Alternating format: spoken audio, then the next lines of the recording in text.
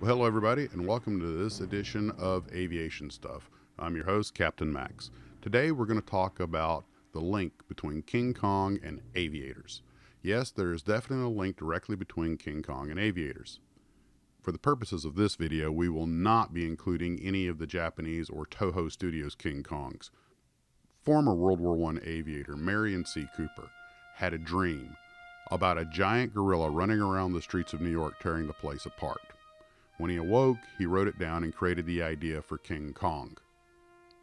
Being a former World War I bomber pilot, the first scene that he wrote was the one of the climactic air battle at the end of the movie, and then he built the rest of the script to accommodate that end.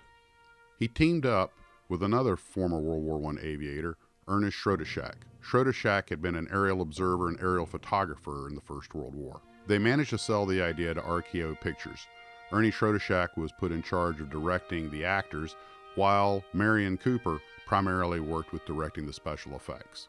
Being former World War I aviators, Schoedsack and Cooper got along very well and even cast themselves in their old jobs as the crew of the aircraft that attacked Kong. So when the planes attack King Kong, they are actually killing the very creature that they themselves created. It was said afterwards that only the men that created Kong were good enough to destroy him.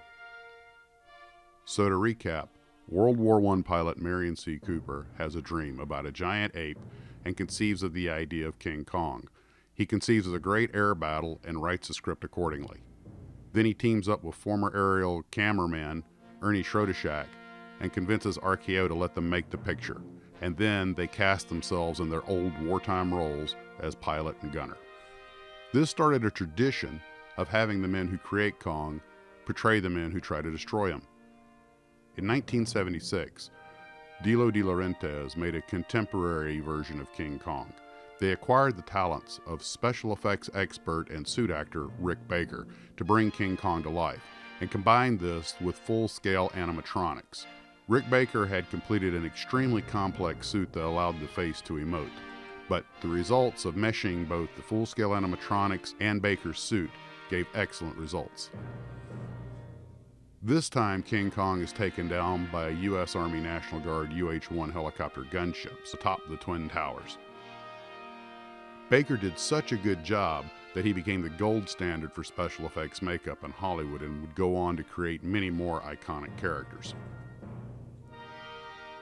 Thirty years later, Peter Jackson decided to remake the original King Kong as a 1933 period piece. Once again, they called Rick Baker but not to portray the titular character of Kong, but, wait for it, yes, as the pilot that kills King Kong. That's right, that's him. That's Rick Baker playing the squadron commander of the naval aircraft that are sent to kill Kong. So, just like the 1933 original movie, the men who brought Kong to life are also the ones that destroyed him. Ah, but there's more.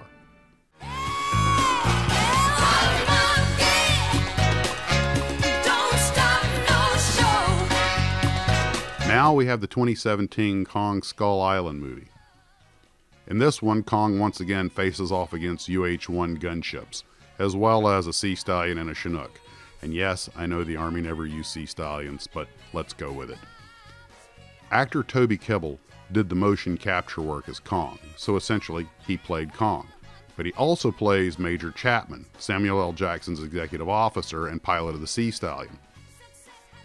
So, in the tradition of men who create Kong playing the ones that try to destroy him. Kebbell plays both Kong and one of his attackers.